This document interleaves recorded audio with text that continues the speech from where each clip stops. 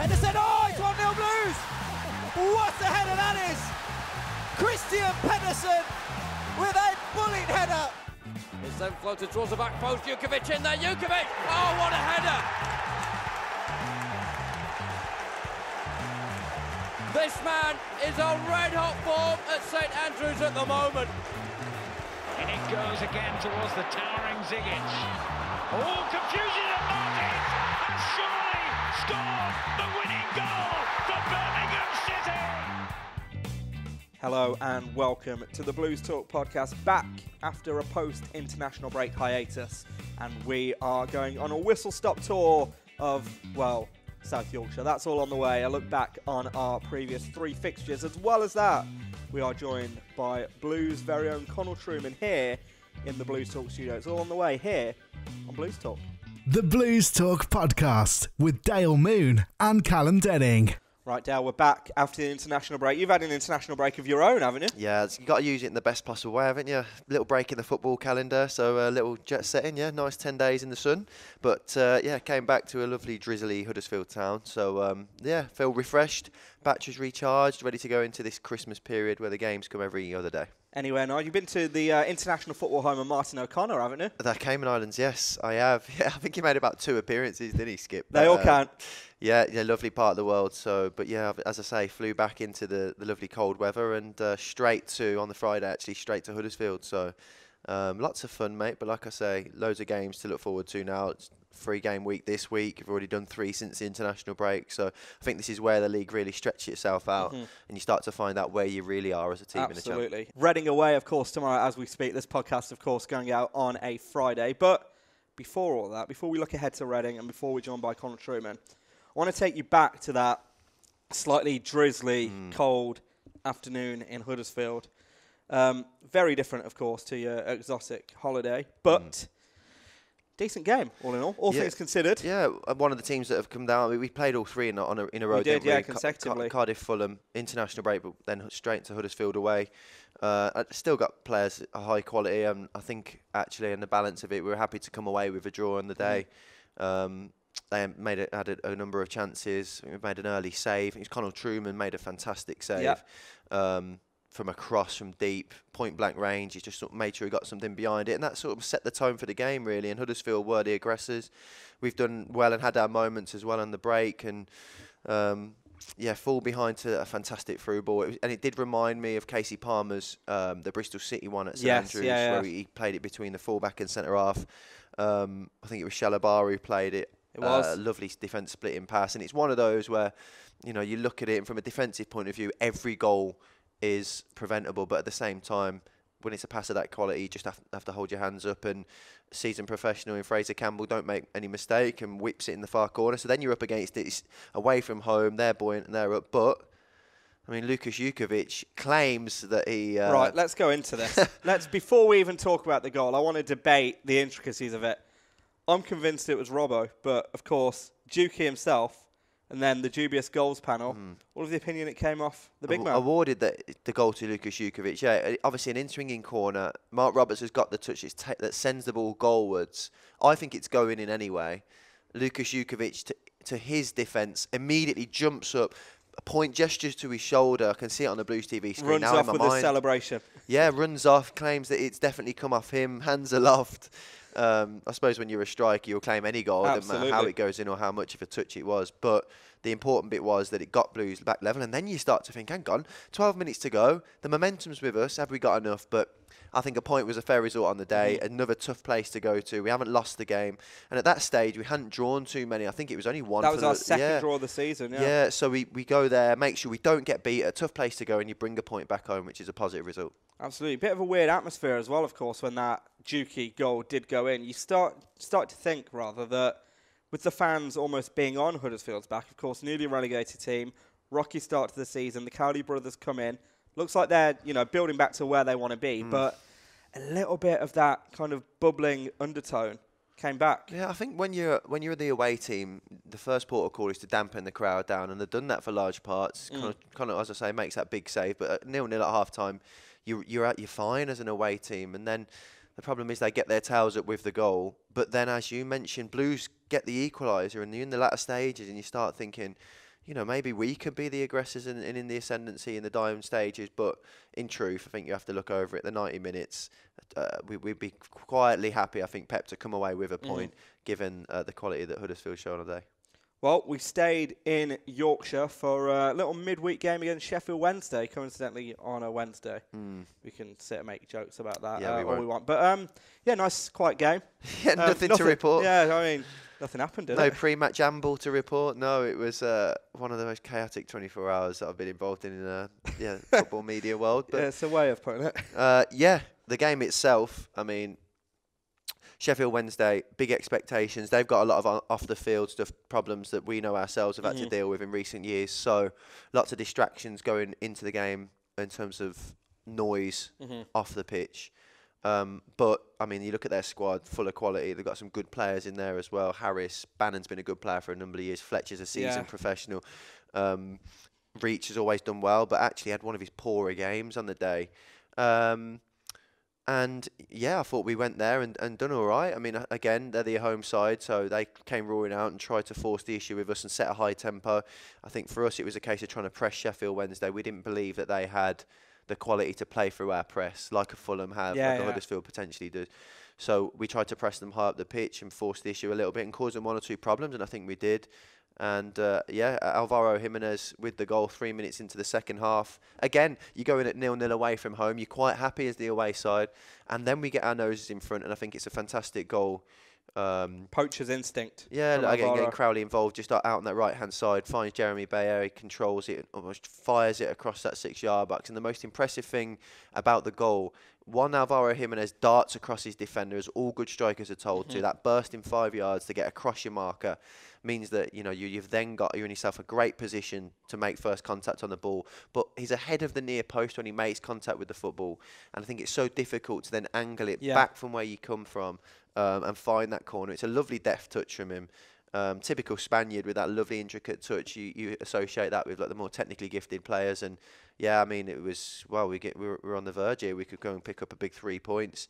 Um, as it was, I felt that the ten minutes leading to to the equaliser, they were putting a little bit of pressure on. Our legs had gone a little bit. Jude had covered Absolutely, a yeah, hell of yeah. a lot of ground. And and talking of Jude, The um, goal. Well, yeah, I, I- thought Jude was fantastic from the outset. He makes a, a fan, a massive challenge uh, in the first half that leads to a chance. He has another chance where he slices it left Mm-hmm. foot. It just leans back a little bit, but his influence is growing on this side, as a, and it's scary. I mean, we keep having to mention it. We have to. He's a 16-year-old boy. Yeah, yeah, it's but mad. he's gone from making sure his passes are nice and safe, he doesn't lose the ball, he belongs and deserves his place in a central midfield area, to actually realising that he's got the ability and the confidence now to drag this team forward and to try and make things happen. Well, I think against Sheffield Wednesday, it was very much a box-to-box midfielder's performance, wasn't it? I think the big tackle that you mentioned. There's two or three blocks as well in that first half, and then he's there. He's the spark, trying to make something happen at the other end. And yeah, as I mentioned, the goal heavily involved in the build-up gives the ball to Dan Crowley, who then obviously provides to Jeremie Bela. But Yeah, he's a he's a player that I do think that will be his position long term. Mm-hmm. I think at the minute he's sitting alongside Ivan Sunjic with more of a license to get Yeah. forward than Ivan has, but he can do it, uh, uh, do everything. He can tackle, kick, he can he can pass, he can shoot from range. He's not af- afraid of doing his defensive work. So he's a he's a number eight. A, he can get up and down. And I think in the last couple of performances, we're starting to see the growth and progression of Jude Bellingham as a first team player. Yep. Shouldn't surprise anyone. Uh, he's, he's like a sponge and he's so uh, he's receptive to any of the advice that, that Guards has given him, that Pep will give him. Um, but I do think that it might just be my personal point of view. The past couple of games, we've saw Jude kick on another level. Um, unfortunately, as we say, back to the game, we conceded with 10 minutes to go. And I actually think Jude was just a little bit tired, couldn't make up a lot of ground. Khalid Harris gets away. He's a quick, nippy winger anyway. Um, and we just back off a little bit, probably a, only a step or two. It's the fine margins in a game. I think we've we've we've backed off and receded back towards the 18-yard box. We needed to make that decision to go and close him down, and when we do, it's just a split second too late. I think it might even go through one of the legs of a Blues defender, finds the bottom corner, and then the game flips on its head. And we talk about Blues being in the ascendancy at Huddersfield with 10 minutes to go. It was the other way around absolutely. Uh, a couple of uh, uh, goal line clearances, but we managed to come away with a point. And given all the circus that, that followed that game, uh, I think that um, we're happy that we didn't lose it. A little bit frustrated we didn't win it. game very much where each side had spells of dominance, wasn't it? I think first half, it wouldn't be unfair to say Sheffield Wednesday were the better side. So, like you said, pleased to get in at nil nil for what 20, 25 minutes in that second half. Of course, we got the goal pretty much immediately. On top of them, could have had the opportunity to get the second, where Dan Ca- uh, Dan Crowley rather can put Max Max through. Yeah, Um, in hindsight, I know he said that yeah. it's the the uh, pass he should have made. Yeah, I actually think it's one of those where it's obvious from the stands. We can all see it that it's it's clear that he should play Max in. But when you're down there at 100 miles an hour and he's thinking of, of all of his decisions that he's got to make, uh, he's got a player to his left, a player to his right, or he can go alone. I think he's hoping that Max just draws the the marker towards him, the the Sheffield Wednesday defender. But to the to the defender's credit, he doesn't quite overcommit himself Yeah. towards Max. Keeps himself in a more neutral position to then make the block. And it's unfortunate because we're in the stands screaming it's wide open for him to put Max in, and you know we've Max got the benefit, though, haven't we, of the view? yeah, and he might not score it, but at the same time, it's a golden chance to get that second. And then I don't think Sheffield Wednesday come back from that. You talk about the, the natives getting restless at Huddersfield, but they were worse at Sheffield Wednesday. You could hear a pin drop as well at But one that- stage. that they they were almost waiting for it to go wrong at Sheffield Wednesday. Um, from the moment that we, we grabbed the first goal. So, unfortunately, we didn't have a second, but we'll take the point and move on. Absolutely. Uh, on to Millwall, back at St Andrews. Um, interesting one. Yeah, and from not drawing a game, or from drawing one in however many games it was, one in 20 or whatever it might have been, we've, we've drew three on the spin. And yeah, this one was a was a bizarre one. I think for 20 minutes again, we've zipped it and moved it really quickly. And I, I've always said that you do get a feeling of how Blues are going to play within the opening five, 10 minutes. And I thought we were bang at it for, for 10, 15. We've created good openings. We started to move the ball very quickly. You know what you're going to get with, with Millwall, and even under Gary Rowett as well. We know ourselves Yeah. always going to be well organised, well disciplined, physically very strong. You're going to have to compete with them. Um, on that front, I think Jake Clarke-Salter had another fantastic game. It was a big call from Pep Um, because you've got your captain Harlee Dean, who Back is available. yeah, yep. who is available. I think many people expected him to go back in, but he felt Jake done enough in the previous three fixtures to warrant a place, and he didn't let anyone down again. You know, he can. He, the thing with Jake that impresses me, if you can tell he's come through a seasoned academy where they like to play football because he can fire passes into a Crowley, a Villalba, one of the front men with real zip in it, and he knows what he's doing with confidence. He's comfortable under. Um, in possession of the ball, and he's not afraid to mix it. And I thought Matt Smith, who's been our nemesis, I think what was it, seven goals in Far ten games, too long, mate. That's how long. seven goals in ten games for all of his clubs. Um, always seems to score against us. They, I thought they shackled him well, with the exception of a tremendous Connal Trueman save. Unbelievable, isn't it? Um, I think Darren Purse on commentary said it, it, it reminded him of Gordon Banks against Pele. he did. Whether he got a bit carried away, but I mean, yeah, you can see it as soon as the ball leaves uh, Wallace's foot on the left-hand side. Uh, it's got goal written all Yeah. over it. He rises Matt above Smith Jake. as well. A powerful header down towards Conor Trueman's right-hand side. The one thing I'd say, and I'm taking nothing away from the save, it's not quite in the corner, so it does give Conor the opportunity to get down quickly and palm it away. But yeah, fantastic save from Common. And again, all these things just add to his confidence. You know, three games Yeah, in yeah. now. It's his first home appearance in a long time Since over Norwich. 15 months. Yeah. Yeah, so uh, that did him the world of good. He makes um, another good save. Is it in the second half as well, where Mhm.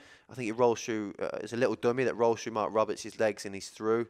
Uh, Kieran Lee tries to fire it into the near post, but he races out, makes himself nice and big, and makes the block. And it just again, we talk about the confidence growing in Jude Bellingham. Connal's a good few years older, but when you've been out of the first team setup for so long, he'd have had those pre-match nerves again. Um, but all settled him down really well, and it's a fantastic save. They end up taking the lead. They do against massively against the run of play. Yeah, it, it's a couple of little errors uh, that are made. I think Ped's uh, slips or Head put the slips, dives in a yeah, little bit. on the attack. Yeah, just just commits himself, and they work it to an opening. And you know, from where we are in the Blues TV studio, they had an extra man over, and it, it looked like it, it spelled danger.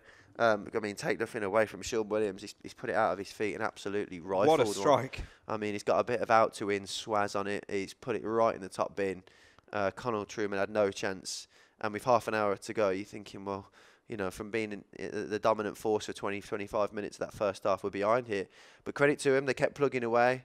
Uh, talk about the importance of set pieces and the impressive performances of Jake Clarke-Salter, and they come together Well, for the equaliser. a moment before, Jake Clarke-Salter's down with what looks like a head injury, and you think, Mm. are we down to ten men here and properly backs against the wall for the last ten minutes? Yeah, And then, yeah, as you said, he's been that impressive in the performances that he's put in since um, deputising for Harlee Dean.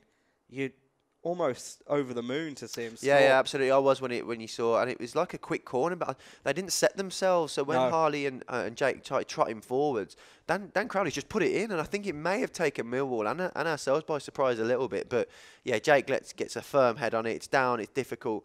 Uh, for Bialkowski to save and uh, finds the bottom corner and then it's again 10 minutes to go. It's always it seems to be grandstand finishes these past few weeks but have we got enough to go and find the winner? We couldn't in the end. It was a little end to end. Millwall felt they could win the game um, but it's a third straight draw, um, which again frustrates one or two. You want to win your home games. Mm-hmm. I think particularly because we've gone away from home to two difficult places in Huddersfield and Sheffield Wednesday. Positive results in taking something from the game. Everyone looked to Absolutely. Millwall to go right. This is the one where we go and win it. But if you can't win it, don't lose it. So another point to take into the weekend. Well, Millwall under Gary Rowett, of course. They're no mugs. They've put in some great performances. They've only lost one, I think, yeah, haven't they? correct. one in six now. So yeah, a bit of a bounce under under Rowett. And you know, like we say, Millwall are always difficult to play against. I don't think we'd scored against them in the three games at St Andrews previous, No, I think you're right. and they beat us to a to a scoreline of nil. So you know, at least we managed to, to grab a goal against them and a, and a point as well. So. Yeah, th- I don't feel like a, a win is too far away. The finer details are, are the difference, um, and hopefully that comes this weekend. Well, on to another three-game week, of course. Reading tomorrow, QPR in the week, and the small matter of West Brom at home coming up next weekend. But before all that, I think it's fair that we're joined by our guest this week, a man who, as you mentioned, fantastic save against Millwall, solid against Huddersfield and Sheffield Wednesday, in the first team for the first time in 18 months, Connal Trueman. Yeah, fantastic, uh, fantastic, isn't it, for him to be back in the squad? He's been given a chance by Pep, and he's taken it with both hands. And you know, he's had three fixtures now, two on the road. He's played at St Andrews, full of confidence, given the saves that he's made in those games. And you know, it's a good battle. It's a tussle between him and Lee Camp. And Campy's a vastly experienced goalkeeper. He's had a fantastic run in the side, um, but. Pep felt it was the right time to put Connal in and make a change, and it's good to have that competition for the number one jersey. Absolutely. And he's stuck with Connal, and it's up to Connal now to do enough in these performances between now and Christmas and the end of the season to keep hold of that, that number one shirt. So um, yeah, good to have Connal on the on the show. A really good talker. Uh, very articulate, um, you know, making his head a little bit bigger, but very articulate lad, very well educated kid, very grounded as well when it comes to to what's expected of him as a young goalkeeper. He's had to be patient for his chance, but glad to see he's in the team and he's taken it. Let's hear from the man himself, Connal Trueman, on the Blues Talk podcast. The Blues Talk Podcast. Connal Trueman, thank you for joining us. No, thank you for Here on the me. Blues Talk podcast, you're a huge fan. You've told us you've listened to mm. all 15 I've not episodes. listened to We one. on I've not listened to one. 16. 16 I think. episodes. I've not listened to one. I won't be listening to this You know again, what? but I like the refreshing honesty, though. You Yeah. get someone going, yeah, yeah, yeah. Robbo said the same. what I hadn't listened Yeah, to. nah. It's honest, isn't it? Thank you, mate, for the support. It's important the players get behind what we do here at the club. One club, here, and all aren't that. I? one club team and all that. I'm here. uh, how you doing, mate? I'm All right, mate. Yeah. Yeah, fresh out of the gym, aren't you? Did Yeah, a little sure. bit of summer weights in December. Oh, it was a power session, being professional, but if that's where you want to go with it. Straight into the studio. Look at that commitment. no, Studio. no, it was on TV, then I thought, No, thank you, mate. Um, yeah, as we've sort of already spoke about off camera, been a been a been a very uh, good three weeks for you. Um, into the side, two tough away games, important points on the road, and then back at St Andrews, which must have been a good feeling. Yeah, it was wicked to be back at St Andrews. Obviously, it's been a while since I played there um, in front of the home fans, but the reception I got was fantastic. The atmosphere was, was awesome. So, yeah, it was good to be out there. Uh, we'll start with the Millwall one because it's a huge save, and again, I know I reiterate this is take two of the podcast. Callum Denning has had an absolute shocker. Listen, Yeah, I'll hold my hands up. I'll But hold my we hands can't up. continue to pretend it hasn't happened. We can't. It's Nah, happened. this, is, this is the wise decision to sort We've, of. we've done two hours with Connal. Two and a half. I've not been let out of this meeting room. It's God, that's a boiling. lot. It's so boiling. warm. Uh, right. The save from Matt Smith. Talk us through uh, first what your thoughts were about the save, because as I say, it's a great, it's a very good save, but it still Stopped isn't in yourself the from corner. saying great It's not in the corner. well. It's very good. It's Very very good. good. Yeah, well, it's not in the corner. You're No, right. I don't think can't, like, I think it's still good, man. I've watched it and I've uh, like. You're I having it. gonna. I you're having it. You look really proud. Richard Wilford of BBC WM did say the fact that it wasn't in the corner actually worked against you because it's close to you. Yeah, You we'll go with that. It's give you an out. yeah, I'll take it, Richard. Thank you. Uh, but you did make a good point. What's going through a goalkeeper's mind when that, as soon as that ball leaves the, the cross, the, the the cross? foot of the crosser, how, what, go. what goes through your head as a goalkeeper? Um, obviously, initially you're having a look. Can you come and deal with the cross? Can you come and catch it, punch it, whatever? couldn't. So then you just got, to, especially when you're playing Millwall and Matt Smith, you know, you, you might have a little bit of work to do. So you just, you know, pivot off and get set and ready to, you know, back yourself, back your reactions and stuff like that. And that's just what I did. Yeah, it's a good save down to your right hand side. Mm, Mhm. Yeah, right. I'm not going to ask you if you've got a stronger side because it's sort of giving Yeah, stuff away. let's, let's But keep that to ourselves. uh, I almost give you too much credit by saying you managed to push it out of oncoming traffic, but you don't even think about that when it's that close. No, I, yeah, I think it was just pure reaction. So it's just about saving the initial shot, and then you know where the ball goes, you try and deal with it again. And uh, luckily, it went to Harlee, and we could clear our lines. But it was just, it was just about saving the shot. Do you want to get up and celebrate when you make a save like that? Um, You know, when you, you know, goalkeepers are sometimes so cool. Yeah, they're just yeah. like, "What's the next bit? Where's the next ball coming from?" Really, inside, you must be like, "You've scored a goal." One to run off to the corner uh, flag. nah, a little bit, but like when you score, the game stops, doesn't it? So you can give it beans, you can do what you want. Yeah. Like when we make a save, you've either got a corner to deal with, or somebody's going to try That's and true. smash in the rebound. So the the only time you really get is after the game to have a little go. Oh, that was decent. Yeah, and you know yourself when you've had a good game as well. I mean, Mm. I know sometimes like players like validation and stuff, but you're experienced enough to know that you walk off that pitch, you know you've had a good one. Especially in the last three games where you've got to be pleased with all of your performances. Uh, yeah, I think so. I think considering how long it's been since I played in that sort of in the first team and even a game in general to to come in and I think I've done all right. To be fair, I'm, looking back, I'm obviously it's not perfect and there's loads of room for improvement, but as a starting point, I think it I think it's pretty good. Yeah. yeah, take us back to the Huddersfield one. And I know we're doing it a bit mixed up, but when was you told that you was going to be in? Because I know you said to the press after that Campy had some nice things to say to you as well, which it's Mm. got to be difficult for him to have been, you know, pulled out of the team and then Yeah. you're given a jersey. Yeah. So obviously I found out Friday night in the hotel, um, and then that So gaffer just pull you and say one on one, like, listen, Yeah, yeah. Yeah, yeah, that's all it was. You're gonna you, you're starting tomorrow, and that that was it really. And then yeah, like like you said, Campy was was really good. To be fair, he had nothing but positive and, and encouraging things to say to me before the game, which was you know I really appreciated that. And uh, like you say, it could have been a difficult one for him, but he's, he's obviously you guys know him. He's a, he's a good guy and he's a top pro, and he would never sort of Mm. display anything other than like exemplary attitude. Oh, What good word. Yeah, I know. Good word. that. Nailed it. Um, but I think that's probably a sign of how close you are as a goalkeeping unit. Whenever, and I know like they give us the Union.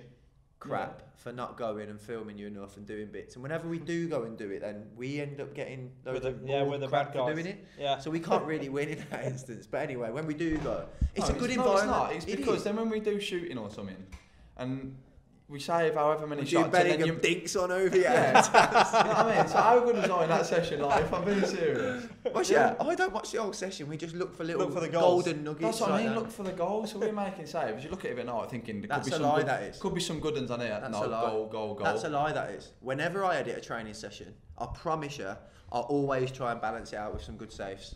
I think. I think You're if, if that's true, You just don't I make think enough. you're. I think you're the only one. Ah, behave yourself. Nah, I promise you, that's that's how we work. So a massive We're save professional. might go top of the queue, you know, as well. Everyone loves a save as well. People don't think No, they do do, love a everyone save. loves a save. Yeah, yeah, they do love a Save save. in slow mo. I mean. Nah, nah, not slow mo sometimes though, Because it makes looks better when it's. Wow, yeah, Full that's speed, true. better light, yeah, just some bit tips for you. Teach Three us how to do New it. header blue You TV. know what I mean? Three Oh, years degree. wasted, wasted. Uh, so you're in at Less school Huddersfield. after Con- GCSEs, but you're welcome. you're, you're in at Huddersfield. Um, yeah, 15 months without first team action. Been a long time coming. Do you have? I know you. It's not a debut, but it felt to me like it was like a second coming of Conor Trueman. Because you're you're back in again, having been so long out. So do you have any nerves, or is it literally your game heads on? Like you're not you're not 15, 16, 17, so you've been No, around no, the group yeah, long yeah. enough. So you you're professional enough to have that. But do you have any pre-match nerves ahead of that one? Yeah, I- I think I've, there's, I think there's always, uh, to a certain extent, there's some some nerves, some nervous energy, um, but it is mainly masked by focus and the job in hand. Um, yeah, especially when you get out there and you get to the stadium and you're doing your warming up, you're just concentrating on what you're doing at that time, and then pretty pretty quickly once the match starts and you've you've had a couple of early touches, you know, you you settle in and you're just business as usual. Yeah, make a big save in that one from Fraizer Campbell. No, it wasn't. It was a header from point blank range, cross from deep. Do you remember it? Yeah, yeah. Was it from Fraizer Campbell? Yeah. But it saves like that when you first game after 15 months, immediately got to boost your confidence. Uh, yeah, I think so. It was. You look Yeah. like it was an average. You know. You No, I, I thought it was. I thought it was all right. Yeah. I think that if that goes in, I'd be disappointed. save, yeah, yeah. you know what I mean. But like I say, it is nice to sort of make the saves and you know feel like you belong at that level again. And yeah, it was just a little starting point really. How much do you look back on your performances after games as a goalkeeper? Do you sit with Flavs? You Sit with Flavs, yeah. So ev- obviously it depends on when you play and, and when you got days off or whatever. But the next day that we're in, we'll I'll sit down with Flavs and he'll have, you know, I don't know, ten minutes of clips, Okay. you know, that's specific to you and some good stuff, some stuff that needs to be improved on, and, and you'll talk through it and. You know, thought processes and what you were thinking at the time, and what you could see at the time, and, and just stuff like that, and help, helps you improve for the next game. Yeah, is it tough? I, I imagine. I mean, we don't know, but is it only till we watch it back afterwards on tape do you actually see things a little bit clearer? The reason why I ask it, Dan Crowley came last week and said, "I should have passed that ball to Maxime Colin to make it two 0 At the Mm. time, it's 100 miles an hour. He's got players running everywhere. You know, his own teammates, defenders running at him, and it's only till he watched it back do you actually realise how glaringly obvious it was. Do you find that yeah, the goalkeeper? Yeah, I, I think so. I think it's the same for everyone. Like when you're out there and it is 100 mile an hour and you're viewing it from you know from where I'm standing on the pitch, and then you look at it again from the camera, and obviously that's a different angle, and maybe when you've got the ball in, you can see the fullbacks are in more space than you thought, so you should Mm. you could have clicked it out there or just different things. It's always it give, just gives you a different angle. Like, obviously, it's like a million times slower as well. You can stop it, you can pause it, and freeze frame everything, and so it does give you that bit more clarity and a different perspective on things, definitely. Yeah. So decent one all draw in the end. I think we'd have took it. I think afterwards, I mean, the way we summed it up was he, you know, Pep always wants to win the game. He always Mm. talks to the press and says, whether at home or away, we're going to pick up three points. Yeah. But at the same time, you probably come away from that one thinking that's that's a decent point on the road actually against Huddersfield team who've still got a lot of quality. Newly And- relegated. Three game week, on to Sheffield Wednesday. All the noise that surrounds it. We've already spoke at length about the whole run up to the game. Yeah. As a group of players, actually interesting. Do you ignore all of that? Do you just literally concentrate on that 90 minutes, or do you almost What's take Sh- all the yeah all the Yeah. stuff ahead of the game, all the social media talk, all that? Do you just yeah, block I it all think, out? Yeah, I think obviously you see it. It's impossible to, Yeah. to not see it, but it don't it don't doesn't affect it. You like your thinking or your preparation or anything like that, and it never really affects in terms of like your warm up or anything or the game. Mm. Nah, you just like I said before, it's business as usual. You got you got a job to do, and you go out there and be as professional as you can and, and do your job. Yeah, a bit of a crazy game because again we take the lead in the second half. See nil nil at half time. Take the lead. They pull one back. You look back at that one, right in the corner when it can Kadeem Harris. There's not much you can do. How do you analyse it from Yeah, your point no, of view? No, I think obviously we watched it back. I think my position is pretty good. He's hit it fairly well. It's it, the, the tough thing is is when it goes through the defender's legs, and it always, you know, makes it a little bit more difficult for you. I've, I've, yeah, there's n- I don't look look at, back at it and go, bloody hell, Con, you should have you should have done this, should have done that, you should have Yeah. saved it. But obviously we'll always keep looking at it and seeing if there is anything we could have done differently. Yeah, and then it's a crazy last ten minutes where we're defending for our life. I mean, you have to almost flick one up in the air with your right arm that fires. yeah, it. that just that just hit me. To be honest, with you. there's nothing more to say about The that. That one one's a just good hit me. one. The yeah, the new one that No post. he hit that well. Yeah. by the way. Because I, remember- I spoke to you the day after. I thought it hit your body, but it's actually No, your I hand. hit my hand. I know. It's a good save. that Yeah, it, it felt good at the time. To be honest, it felt like it could be a big one, an Yeah. important one, and it turned out to be. So when we got the point, but yeah, it was a mad ten minutes when it. Yeah. Just, you know, everything's on you. The corners are just swinging in left, right, and centre. Um, Robbo's heading everything. We're clearing off the line. It, it was a mad last He ten come at minutes. me, Connal, because I said in commentary, I think I said Sheffield Wednesday, a big physical team, and they'll look at Connal, Yeah, yeah. who's not six like three, six four. He's not going to come and dominate. a- The next day in the training ground, he comes up to me. He goes, Not "Not the biggest keeper, am I?" Yeah, you know what I mean. Not the big. I mean, I understand. How the tall point, are but you, just don't How need- tall are you, Connor? I Are you feel sub off- six or are you six? Oh, that's a right. That's What are you six one? Just about. Nah, when your hair's touching- sticking up. T- touching six stone, we'll go down to the gym and do it now. Because no Trainers- one believes what it. trainers Every, you got on? every, bare feet, that mate. I'll do it now. Right, I'll Get the give you- sports science stats. I'll give you that. I'm just everyone saying. batters me for it. See, that's why. So it's a sensitive issue for you, It not is, me. it Do you know what I is, mean? It's yeah. a valid point. It's a little bit of you're- little man syndrome there, isn't it? Like, but Yeah, everyone, yeah. But no. The one thing that I said so much Yeah. nice. Oh, you I said so you? many You nice don't things. need to mention it then. You know, I was like, it's great that he's got that's his what it chance. is, made though. great saves in the game. Oh, what That's, that big but save! that's what his it is though. You, is you've just thought, oh, I've paid him a couple of compliments here. Let's just Throw bring him something back else in there. peg. I've actually justified why Sheffield Wednesday are bombarding the box. Because it's ten minutes to go. So they're gonna one one at home. So they're whipping corners in. who on? Let's say a big weak point in this team is their goalkeeper. anyway, Con, we kept listen. All's well that ends well. Yeah. You made a good couple of saves. Thanks, mate. You've you've grown. In Weren't confidence, aerially not dominated. stature. Yeah. yeah. Uh, back at St Andrews. I mean, Yeah. usually it's in a half-empty stadium for 23s. Now you're back in front of a crowd. How different is that experience? First team, I suppose it's like chalk and cheese. Yeah. Oh, good. It's all right. Cliche there. Uh, yeah, it was. No, it was good. Really enjoyed it. Like I said, like when you're playing 23s games, there's no one there, and it's just it can be feel a little bit dead sometimes. But there's no chance of that in a first team game. And you get there, and you know the fans are just what, doing what they always do, and they're loud and they're, they're brilliant, and the atmosphere is really good. And it was just like, yeah, Yeah, this is this is this is what it's about. Yeah. Tell you what, different conditions to your last league game there. Not sat there or stood there roasting this time, I'd imagine. Oh yeah, No, no, was it Norwich? No, Norwich. Norwich, Well, and Bacon Middlesbrough. heat. yeah, Middlesbrough. Norwich and Middlesbrough were both boiling. Yeah. It's not good for ginger people. No. Take a take you- a rainy night. ginger person- I don't I Yeah, brought that with yeah, Connal let with 'em Trueman know, the yeah. blonde lad. Oh.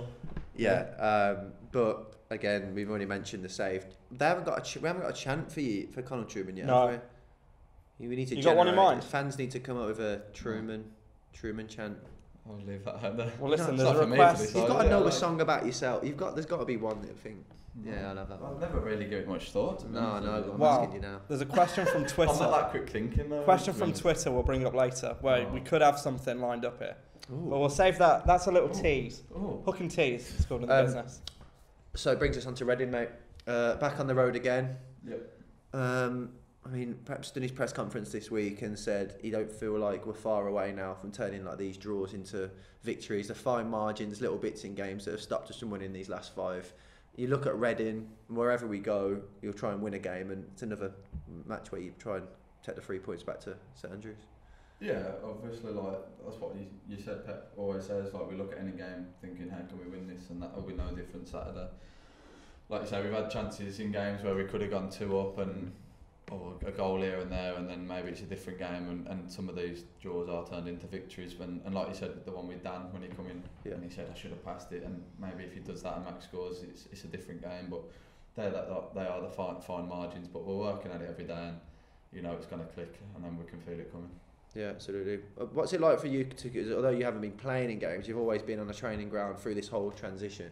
I mean, we notice it because we're watching it from the stands, but do you notice a change in training and the way we're playing? Because there's a certain DNA about us now that we haven't seen. A, a generation of Birmingham City fans has never seen us play this way. Do you see that from your point of view on the training ground every day whenever you having shots fired at you from point blank range? Uh, yeah, I think you can you can see it definitely on the training ground, and definitely you know obviously I haven't been playing, but I've been able to watch the games obviously from the stand or whatever, and you can you can see it like it's just obvious, and it's some of the football that we've played this year has been been unbelievable to be fair, and I think that that will translate to victories and, and, and stuff sooner sooner rather than later. Yeah. Um, with all of our guests, Denning, we always go back over um, their career. We do. Go back to the very start. I mean, yeah, you're very much in the infancy. Hopefully, it's the start of a very long, Hopefully. prosperous, successful career. But we'll go back to the, go back to the very start, mate. Take us to when you first started playing, whether you was outfielder, goalkeeper, and the whole grassroots story of Connal Um, C.J. Trueman. Oh, we, yeah, we could end this. uh, yeah, so I started playing Sunday League in goal straight away. Right. Um, but we were we were quite good as a lot as a Sunday league Who team. did you play I used- Uh, Starland St Anne's. Okay. So S- Sutton Coldfield way. But we were quite good. So I used to stand in goal and didn't have a fat lot to do. So as obviously as a kid, like impatient kid, I was like, nah, sent for me this. Mm. I want to go out and get involved. So I moved, had a little foray. Is that the word? Good word. Is it the word? Yeah. Foray, Fo- yeah. Foray, yeah. There we go then. That into into like midfield for a bit. Had to play in goal for school because we had no one else, Okay. and that's where I got picked up playing playing for school. So it was quickly like Blue Scout. uh, it was like a North Birmingham Centre of Excellence. I said this Okay. the other day, and I don't. And then and then it was a trial for like forever. Yeah. It felt like forever, and then How So, old yeah. had you been at this point? eleven, I think I was when Okay. I signed. Okay. So yeah, it's been a while. Yeah, you've been here. You Well, think no, quite a due a bit. testimonial soon, You actually, it's, yeah, it's true. getting isn't it? You've been over ten, yeah. I know we were talking before we went on here about the fact that you and I went to kind of similar secondary schools where I know snoring out where Dale is excluded, mate. Go on, mate. Where football, Mate, Jamelia went to my school. uh, to be fair, to be fair, What school's that? Uh, CTC, mate. CTC Kingshurst. Yeah. Carry yeah, on. Cal. Anyway, you and I went to uh, schools where football wasn't a thing really. Like we Mm. did games, we played rugby, we played cricket. How did that kind of impact you? Obviously, going from playing football, I'd imagine primary. like yeah, so I played Sunday league. football at primary school, and then when we went to secondary school, it just wasn't Yeah. a thing at all. It was rugby in the winter, Croquet in the summer. cricket and athletics in, in the summer. Um, I don't know why he's trying to get He's just jealous, mate. Yeah, He's he is, jealous. mate. No, I am. I couldn't play football. How, how jealous am I? Carry on. Oh, mate. Go on.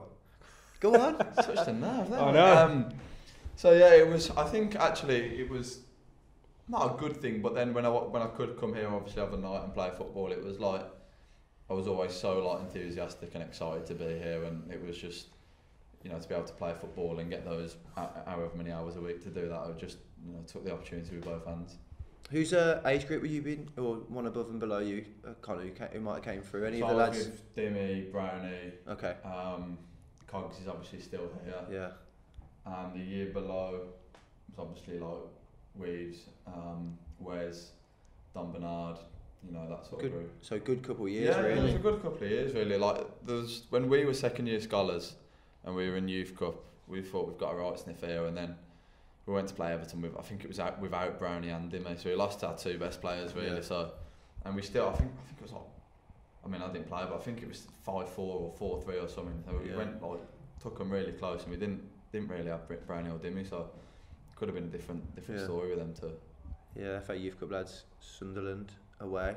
Oh, It's a lovely trip. it's a great stadium though. Lovely- They're not playing there. Thursday Oh, night. Just to make it worse, yeah, they're not at the stadium. Oh, Thursday I thought I had night. Playing play it- no, they're not. No, it's not at the It's stadium. It's on at, it's at a now. ground with no changing rooms at the moment as well, isn't it? Um, Yeah. Who?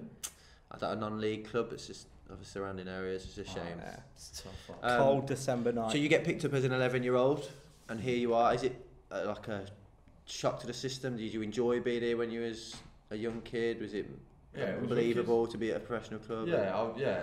You could, especially when you're that age and you're like, At school, you were known as the kid yeah, you know what I mean. That's what I mean. You're like, you got a bit of bit Mm. of clout there, haven't you? You know what I mean? Everyone's enjoyed the use of Yeah. that clout there. Uh, yeah, but no, it's true. Like you, you, you do feel feel good, and it was just wicked when you were here because, like I said, sometimes when you when obviously with the schools that we went to, there weren't sort of inclined to have that many sportsmen there. So sometimes when you're playing in PA or on the playground or whatever, it was like oh, They're not great. sake, Yeah, they're not great. Without with all due respect, like it's just you- you're a kid and you're, you're impatient and you and then you get here and it's a it's a good standard, you know what I mean? And Yeah. you're not sort of used to it, but it's exciting, and you're like, yeah, this is this is a bit of me. This. Yeah. Work your way all the way up. People have always had the comparison with Jack Butland when you've been here. Yeah, You hear that? I've heard it a couple of times, but I think that's just because he was here, like, and he was a few. The years last older keeper to me, you really know what I come mean? Through as a- through the academy, so. Yes. He's- but he's like he's not small for a keeper. Is he? He's a big like lad, isn't he? 6'5" and built like a Proper keeper. You'd have been all right with him on the highlights. The yeah. Sheff Wed probably would have just passed Mate, it all clean, clean sheet at Millwall. clean sheet at Sheff Wed. Um, Um, yeah, I always, always heard that comparison with, oh, like he's the next Jack Butland and all. But I just Um, think you don't listen. Players don't listen to it, so Nah, there's there's no point really. Like what? you're not going to gain. No, what do I gain from from listening to people go, he's the next Jack Butland? Yeah. Mm. Like if You've got to be you as well. Yeah, you've like, got to do I everything mean, that yeah. you're good at. there's See no point in trying Trogger. to be Jack Yeah. because you know you can only be yourself, and that's all I'm going to do, and and keep working hard, and and hopefully like kick on again. But yeah, there's no point comparing yourself to other people. You just got to do it yourself. Yeah, a couple loans in there, mate, to go and get some experience. What was that Mm. like? Going to non-league and playing some of that, some football there. Uh, Just the whole experience, really, just being going to. no, it was good. It was good. It was. I tell you what it was. It was a lesson, and it was a good learning experience for me. Like, I think it's no secret. Sorry, I didn't go as you'd fantastically well. I didn't Mm. go as, as I would have planned, but what it did do was enable me to learn a lot in a short space of time, and and I, I did do that, and I think it's standing me in good stead. To be honest with you. Yeah, what are those lessons, mate? Just how to deal with the. Yeah, there, were, there was there was a number of things, and some of the stuff there's there's no point in getting into. 'cause Yeah. it's not on field stuff. It's just what, What it was at the time, and but obviously the on field stuff was it's tough. It's very like sort of some of the stuff's like just quite like boring and technical and tactical and and just sort of starter positions and sort of protecting yourself and you know looking after yourself in terms of like not ne- not necessarily in a physical way, just in terms of making sure you're on that team sheet every week and, and just like yeah, doing what you need to do to, to you know to play well and when so you, obviously when I was there you were training on like a Thursday night and stuff and and not much else so they'd do what they needed to do from their point of view Mm. but obviously I'd, I'd have a different schedule to, to a lot of other people there so you had to had to learn quickly to do What you needed. what I needed to do to be right on a Saturday and if that wasn't what everyone else was doing then sometimes so be it Yeah. Uh, we always ask players that have been out on loan and benefited from it. I think any experience, negative and positive, Mhm. is actually a positive experience Yeah. because you've gone and seen the other side. It's not worked out. When for we you. had Dan Crowley in it. well, you, you look at like players that have gone out and it hasn't worked out from on loan, and just take what you can from it and move on Mhm. to the to the yeah, next look, one. look, nothing like nothing ever goes perfectly according to Mm. plan, and it's about what you make of the, any situation that you you find yourself in. And if you if you try if you look back at it negatively and you think, oh, that was rubbish, that was then you know you're never going to learn, you're never going to get better. But as long as you can look on things with a positive outlook and think, what did I learn here? What could I have done better? And, and take things you know in the right way going forward, then yeah, like you said, I think everything's a positive. Yeah, no, absolutely. You've had to be patient for your chance in the first team here, but now obviously it's came around. But I think for a goalkeeping perspective, and we spoke about this, the longevity of a goalkeeping career is Mm. different anyway. You're not quite working in the Mm. same time scale or time frame as outfield players. So were you less concerned that, oh, you know, I'm 20, 21, 22, and I'm not y- yet getting my chance because there's still plenty of time? And Um, it is different for a keeper, and I think potentially if I was an outfielder, then my thought processes might have been a little bit different. Mm. But I could always sort of see the process, see what was going on, Mm. see that I was getting better, see that I was learning, and it was. You all right? yeah, good. uh, could so I, yeah, I could have maybe been a little bit more impatient if I was an outfielder, but I think obviously you know you can play for a bit longer and you maybe mature and hit your prime a little bit later as a keeper. So as much as I, what I did want to play and I was desperate to play, I knew it wasn't about you know throwing toys out the pram or Mm. getting you know impatient and unha- unhappy and, and doing you know things in the wrong way because I knew it was the opportunity would come. Yeah. And now it's about keeping it. Now Yeah. that it's almost like now is the hard work starts. You've got yourself in pole position. Now is where the work starts. Yeah, I think I think that's obviously the, the task now is to cement that number one shirt, and that's what I want to do, and I believe I can do it. But like you say, it's, it's hard work and, and nothing else. That's what's going to get you there is, is hard work, and you can never rest on your laurels in football. There's always something driving you forward, and, and right now I is cementing the number one shirt here, and that that's my goal, and that's what I'm believe I'm going to do. Yeah, it almost goes to show the timing's a big thing in football as well. You know, you used to talk about sorry, young players getting like a, a chance at clubs, and you might be part of the timings right now. You've come into your prime at a good time. You're gonna have a, a manager or head coach now at least believes in putting young players in and giving them a chance. So the stars align sometimes for players, and you do almost think we've got two senior goalkeepers in Stuckey and Campy both here. Invariably, the club's going to start looking towards what the next, the future of our goalkeeping position is. So mm. you might find yourself actually you've bided your time, you've kept your head down and worked hard, and now the timing just seems to be right for. Yeah, ho- hopefully, I think you know when you do get your head down and, and you work hard and you you know you do what you're supposed to do. That you've always got to believe that you will get rewarded for that, and, and that's what I did believe, and that's what I do believe, and I, hopefully, like, now is the start of you know getting rewarded for that. And like I say, you've you've got a long term goal, and I've always had that long term goal, and and that's what it's about now. Yeah, it's mad to think that you've got Lee Camp, who's you know 550 plus games.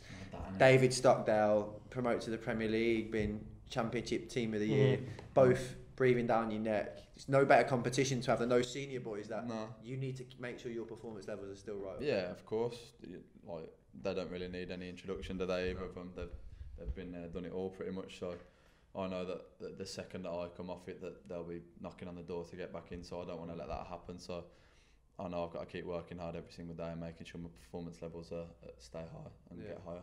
Now you've already, I mean, we already spoke about how Campy's been with you, but does it make any difference whatsoever in those training sessions as a group? Is it the, dy- the dynamic being exactly the same over who's? I think it's been I think it's been the same really. Obviously we all get on. We're, I think we're a tight group as a as a group of keepers all the way through the 23s and, and, and everything. So the dynamic's not really changed. It's still you know intense and, and hard work, but you know with with that banter and that you know that light-hearted side to it as well. You notice that Scott puts on a Spanish accent when he shouts Yes, about Ramos. Ramos. Yeah. I've, I've never heard him do it before ever, I know. but yeah, he does now. You haven't really got a name that's conducive to like an Nah, I want it though. I want pronunciation. a, I want something, but no, it's not true. Trueman. Yeah, I'll just stick to my drummer, Trueman. Yeah, Yeah, CJ. Roll the R in Trueman. That's the Yeah. way to do it. Yeah. Doesn't Um, like the same ring to it as Ramos. Ah, so yeah, it's you're right. fair. no, you're right, mate.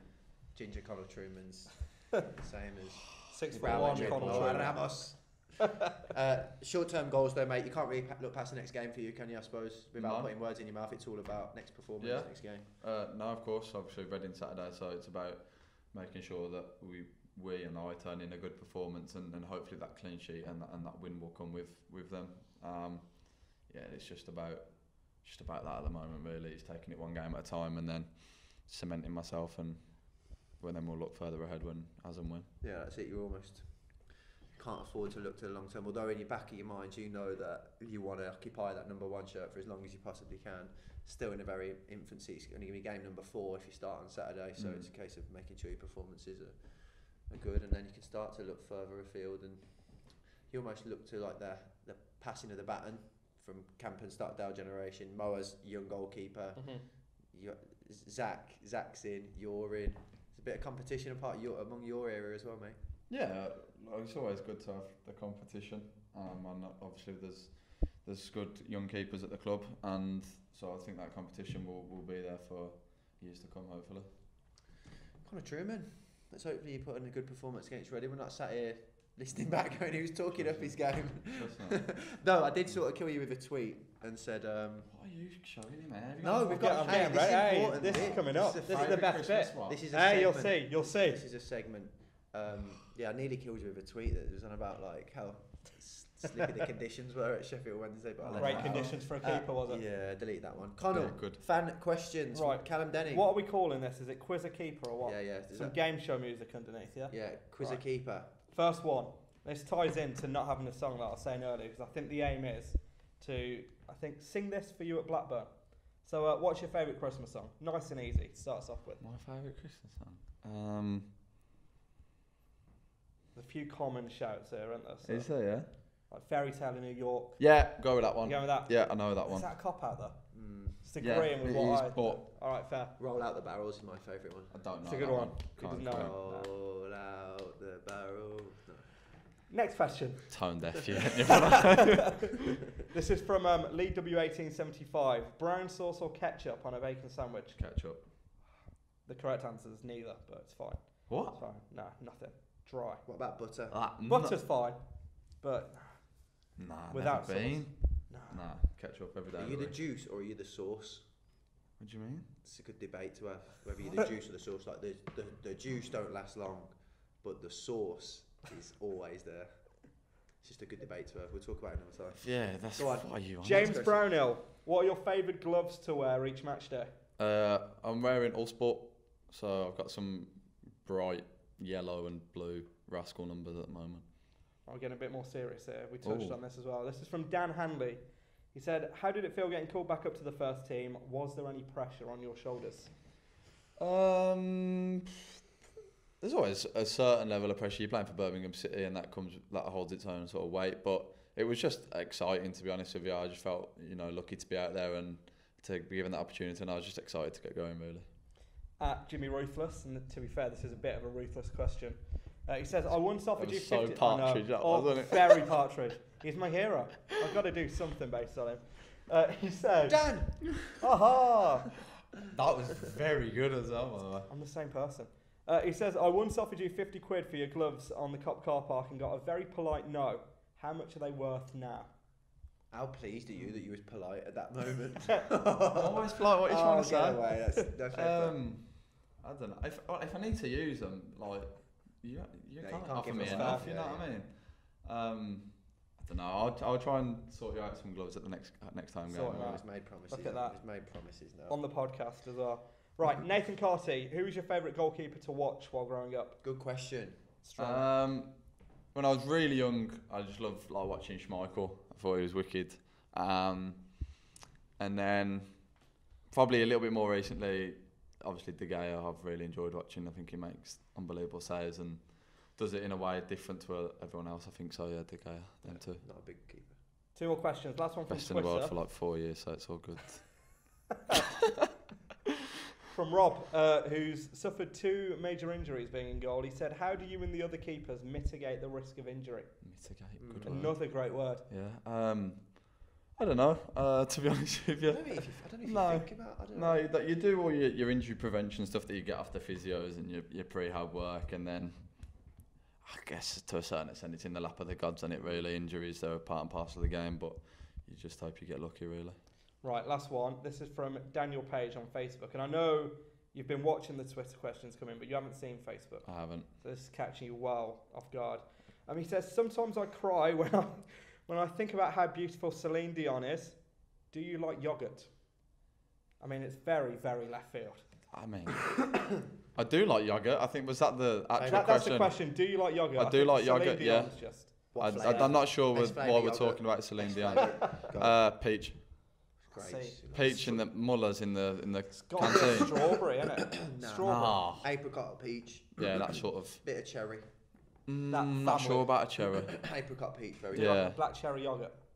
Great shout. Great shout. No. And on that note, That's We it, done? Yeah, that's the Connal big Trueman- question. Connal Cheers, Trueman, guys. genuinely, all jokes aside, I wish you the very best of luck for the rest Thank of you very much, Dale. I appreciate it. The Blues Talk Podcast with Dale Moon and Callum Denning. Connal Trueman, ladies and gents. You'd expect him, of course, to be back in tomorrow against Reading. Yeah, I think so. Like we like we mentioned, he's done enough, hasn't he, in the, the three games that he's played so far. He hasn't really put a foot wrong, so um, you'd imagine he'll be he'll be in. He's got the faith of the manager at the minute, and yeah, good to hear from him as well. And like we say, he has had to be patient. Uh, he's gone out on loan a couple of times and. Um, had to build himself a career, but he's still very young in terms of a goalkeeper, and a lot of people pointing to the fact that he's not a teenager anymore. But from you know the longevity of a goalkeeping career, they can play to mid thirties up to creeping up towards your Well, forties yeah, if you have a good run. Yeah, if you have a good run. So still plenty of um, a fuel in the tank for Connal Trueman. But yeah, great to see him out there playing first team football. Reading away. Been as a fan? Reading, yeah. I mean, we've got some history there, haven't we? The Kevin Phillips goal, Yeah. getting promoted there. Uh, they're just not. They just seem to be like a neutral. I don't feel any particular way about Reading. Um, and that might be the problem. They don't invoke any emotion about Mm. from me. So, I mean, it's a decent little stadium. It's in. It's not a bad place to get to, but it doesn't particularly stoke any feeling for me. A lot more riding on it this season than when we went there, of course, last game of last season, where I think the um, the highlight was a guard of honour for John O'Shea. They were also. recall. Wasn't it Portugal Day? For it was, yeah, They- Portugal Day. who Um, they've now sacked. yeah, he's not there. is, is it Portugal Day this weekend? it was Portugal Day. They all had flags. It was a little bit embarrassing, but um, yeah, nothing on the gate. It was a dead rubber, weren't it? I hated that actually. As good as it was to have, you know, the final day done and you dusted. just given all want something drama. riding on it, don't Yeah. you? So yeah, we go there now looking for a big three points, and uh, you know, it's it's it's one where we've come off the back of five games without a Mhm. win, but then it's three draws on the bounce. So it depends how you view it through what lens.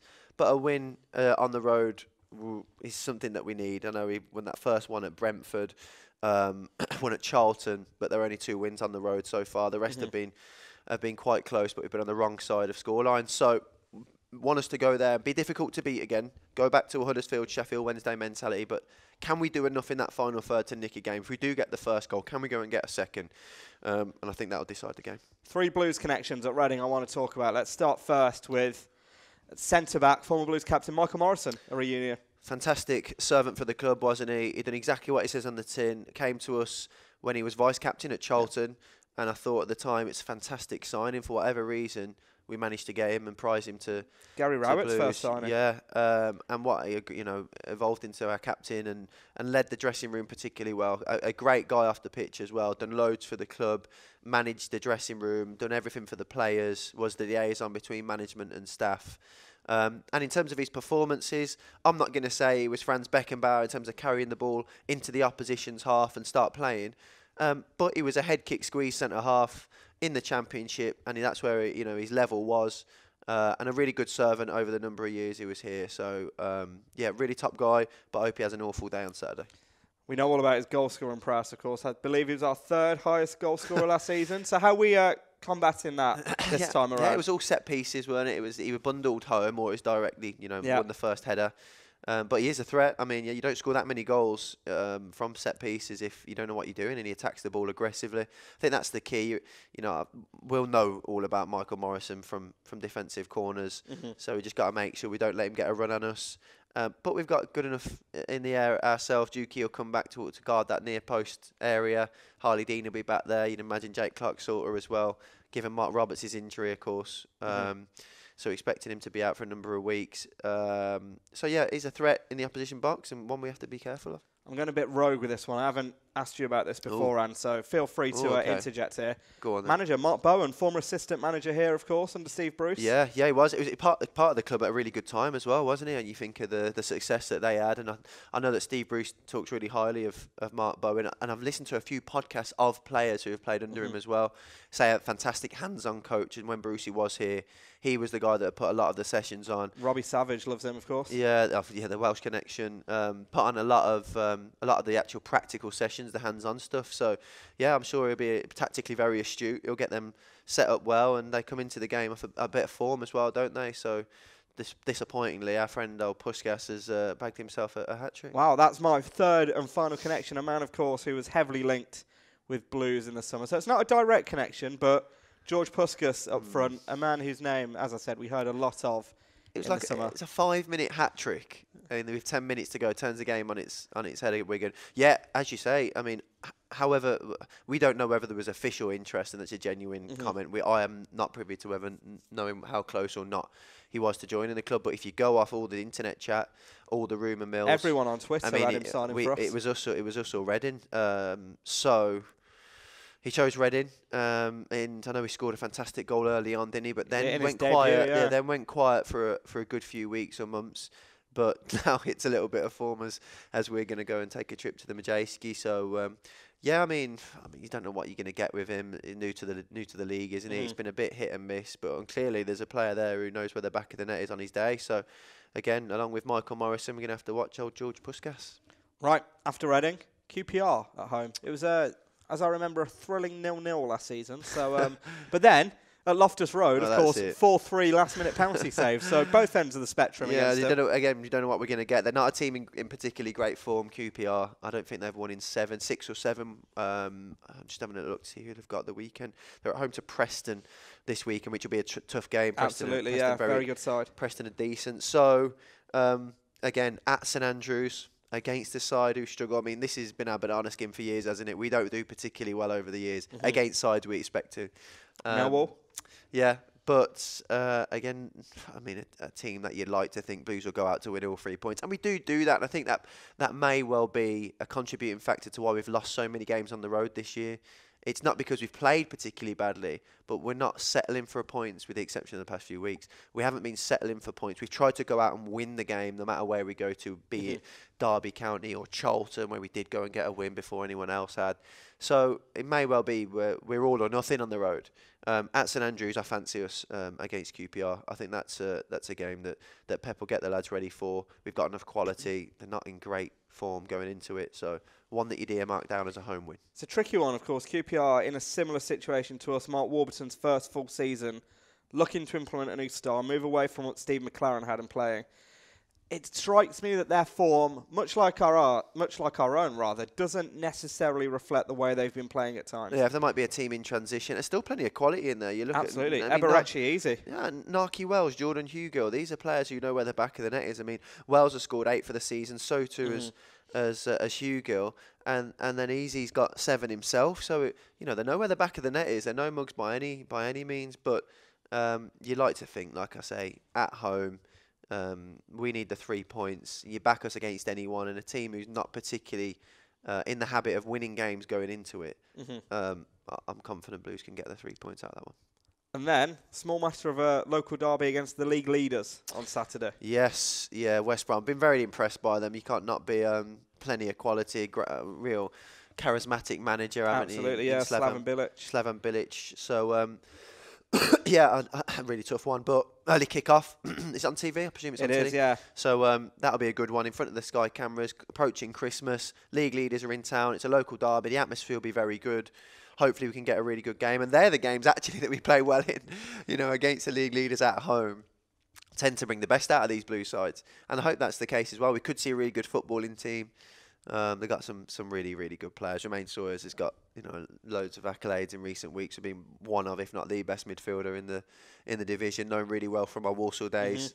Um, so plenty of quality. I mean, Pereira has been an unbelievable signing. Revelation? Charlie Austin's now starting to score Still got quality like Kieran Gibbs from the Premier League days. Charlie Austin as well. Yeah, that's it. Um, they've got plenty of pl- enough, more than enough there to really challenge at the top. They've started particularly well, so that's one I really am looking forward to. I think the supporters will look forward to that one as well.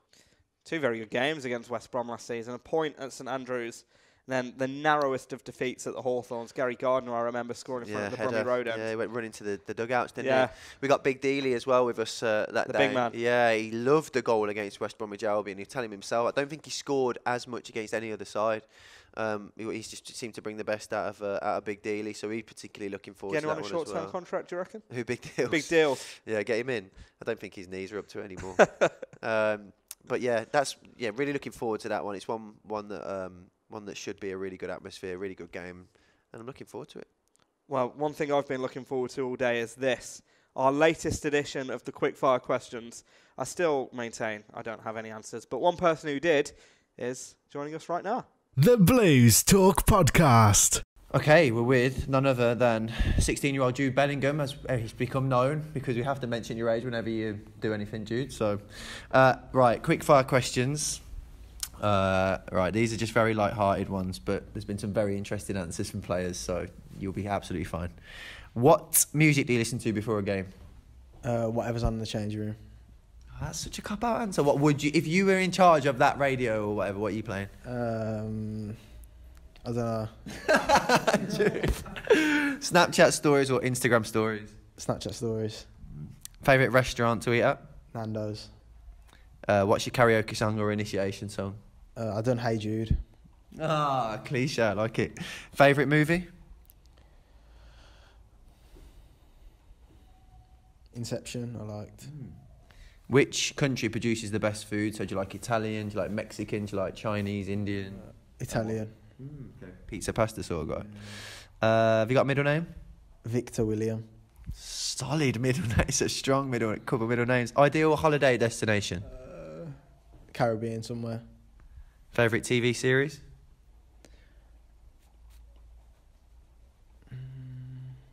Peaky Blinders.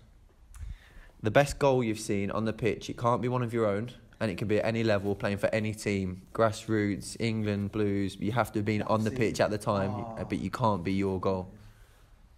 I know it's it's a tough one for many players, but one you've just thought that is a goal.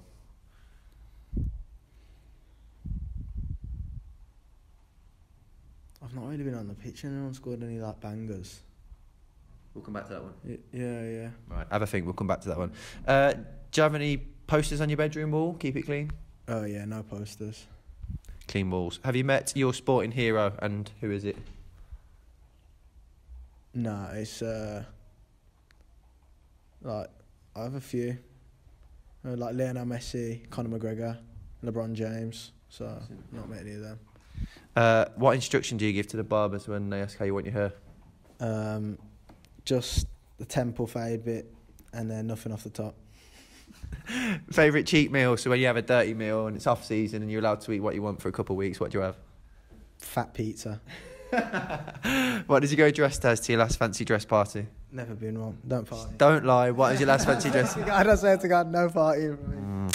NBA, NFL, Major League Baseball, like American sports. Do you follow any of them, or do you not really care? No, I not really care. I just like LeBron James. So Uh, what are the names of any WhatsApp groups you're part of that you can tell us? Because there's been some very suspect names. Other than the Blues one. no, no good names to be fair. no, Game of Thrones or Power? don't watch either. Can you play a musical instrument? No, Uh, can you speak another language? no. Which Hollywood actor would you choose to play yourself in a Hollywood movie? Uh, Denzel Washington. Denzel. Uh, if the whole squad was in a Royal Rumble, who would be left in the ring at the end? Um, Who's throwing the rest yeah, that's what I'm thinking. Yeah. Um, fancy Digger probably. Popular answer. Uh, best pair of trainers or boots you've ever owned? The Adizeros. Remember them? I do remember Yeah, I had like these blue and red ones. So Strong. nice. Yeah, F50 Adizero. Yeah, Uh, Favorite flavour ice cream? chocolate. Aftershave of choice, if you've got one, or are you a bit of a mix? Bit of a mix, mate. if uh, what are the names of any of the pets that you and your family have owned? Uh, Suki, What was it? a cat. Suki. Different. Um, it says here, what type of student were you at school? So, what type of student are you, dude? um, cheeky, but get on with my work. Good. Good answer. Uh, what's on your bucket list? What do you want to do? What do you want to, you know, before you die? Uh, like, what's that when they jump out of a plane? yeah, yeah, skydive. skydiving. Yeah. Okay, decent. Um, what's the worst item of clothing you've worn when you look back at when you were younger and you think, Mom, Dad, why did you put me in that? Um, probably a minging waistcoat. I've seen the, I seen a picture the other day. I was thinking, oh my god, I can't believe all that. Uh, yeah, waistcoat doesn't sound great. Um, are you addicted to anything? Probably my phone, to be fair. a lot of people are. Um, favorite city you've been to, or favorite city other than Birmingham, like other than your hometown? Um, Paris was nice, yeah. Nice. Okay, big question. Best way to eat chicken? So is it thigh, leg, breast, and how is it marinated? How is it flavoured? I get thighs because I don't like chicken on the bone 'cause Okay. it's just too messy in it. Okay. So, yeah, and I like like medium spice, bit of peri tamer sauce and that, sweet. Uh, have you got any memorabilia from players that you played against, or you've collected any sporting shirts or boots or any of that sort of thing? Yeah, I, I remember I was of two that stand out. I remember when I was younger, Demarai Gray gave me a pair of his boots, and then recently from this season, I swapped shirts with Yan Dhanda after the game against Swansea. So yeah, that's the two that stand out. Nice. Finally, have you ever read a book cover to cover that you've chosen to read at home or not? Books, anything? Nah, I don't read. Jude Bellingham, thank you very much. The Blues Talk Podcast with Dale Moon and Callum Denning. Another fascinating instalment of quick fire questions. Right, Dale, very quickly. Blues women against Spurs in the week. Yeah, at Solihull Moors, one apiece. Um, yeah, we went down there and it was a really bizarre game because for 10 minutes, Blues were on the back foot. Spurs could have been out of sight and a number of chances uh, in the opening exchanges. Then it settled down a little bit. Blues got themselves into the game. Uh, Abbi Grant grabbing the goal, really well worked goal as well. Lucy what a Stan, ball from yeah. Lucy Stan. Yeah, she's she's hoisted one up and she, she spotted it actually. She had enough time in that midfield area, got it out of her feet, hoisted one on the diag. The goalkeeper's just had a rush of blood, came sprinting out, hasn't made up the ground. Abbi Grant bravely just flicks What it on. header. Yeah, flicks it on and uh, finds the back of the net. So get yourselves in front, having been actually second best for 20, 30 minutes of the game. Um, but then Spurs get the equaliser, and I think that's the big frustration of the night is the manner in which they conceded a, a ball into the box. It's just bundled home at the far post. It was a, a cross from wide towards the back post. Sorry, it's nodded down. Hannah Hampton does get a hand to it, but falls into the back of the net. One each. Then it becomes a bit basketball match. You, you attack, we attack. Um, neither could find that little bit of quality that decided the game. So a point on the night. But a fantastic response, of course, to that home defeat to Chelsea, which is what we wanted to see. Yeah, and actually, I was talking to Colin Tatum, who was at the Chelsea game. He said for, for the first half, um, Blues were better against Chelsea than they were against Spurs. They find themselves in front. Um, so it just goes to show that you know if, if you take your chances in the game.